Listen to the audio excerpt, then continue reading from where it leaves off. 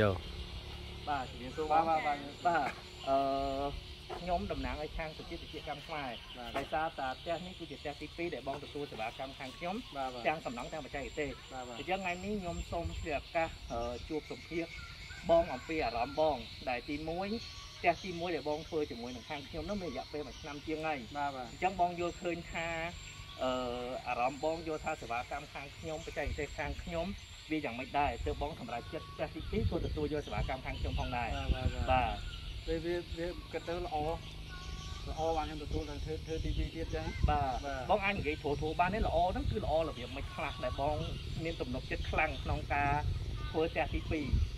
ទំនុកចិត្តទី1ពេលពេលពេលខ្ញុំធ្វើដំបូងហ្នឹងពីពីដូឥឡូវយកពីដំបូងមកយកដំបូងខ្ញុំដំបូងខ្ញុំអត់ទាន់ទុកចិត្តគាត់ទេកាលទី1ណាបាទដំបូងខ្ញុំទុកចិត្តគាត់ទេគាត់នាំដើរនាំអីអូពេញទឹកពេញដីនាំនាំមើលបាទអញ្ចឹងណាបាទហើយក៏វាទៅទុកចិត្តគាត់ទុកចិត្តគាត់ក៏ធ្វើទី1ទី1ទៅ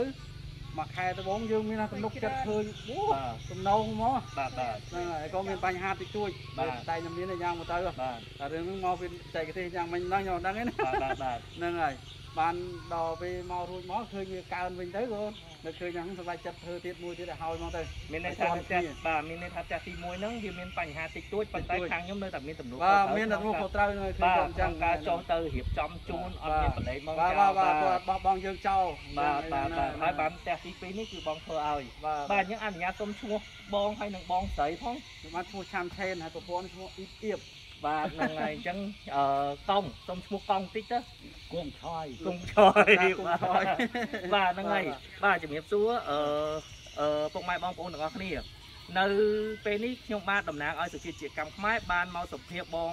ឆេនបាទដែលគាត់ជាម្ចាស់ផ្ទះសុជាកម្មនៅទីតាំងហៃខេត្តព្រៃវែងនេះនេះគឺជាផ្ទះទី2ដែលគាត់ធ្វើជាមួយនឹងខាងសុជាជាកម្មខ្មែរដែលគាត់ទទួលយកទាំងសេវាកម្មនៃសំណង់ហើយនិងបច្ចេកទេស បាទអញ្ចឹងតិចទៀតនឹងវីដេអូទី2ពួកខ្ញុំនឹងទៅថតនៅផ្ទះទី1របស់បងដែលយើងនឹងចូលទៅថែទាំផ្ទះជូនបងផងដែរបាទអញ្ចឹងសូមពុកម៉ែបងប្អូនទាំងអស់អឺតាមដាននិងជួយគ្រប់គ្រងតែអឺជាតិជាកម្មខ្មែរបាទសូមអរគុណច្រើនបងបាទបាទបាទគាត់ខោទៅខោទេហ្នឹង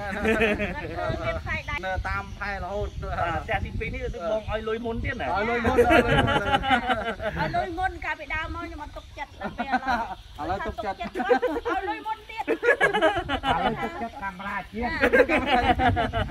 បាទបាទអូខេអរគុណច្រើនអរគុណបាទបាទបាទអរគុណ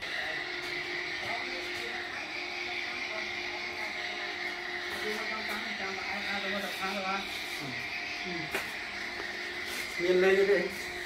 មានចូលមិញហៅចូលមានហៅចូលហងកងអានេះជន់មួយជន់ទី1ចន្ទទី1តដែរអញ្ចឹង